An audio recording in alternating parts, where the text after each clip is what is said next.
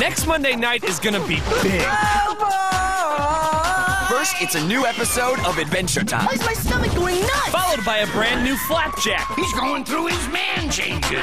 Then it's the season premiere of Total Drama World Tour. Oh my god, this is the greatest day of my life! And the series finale of 6teen. I'm never gonna forget you guys. That's a huge night. Why did you wait so long to tell me? And it all starts next Monday night at 8 on Cartoon Network.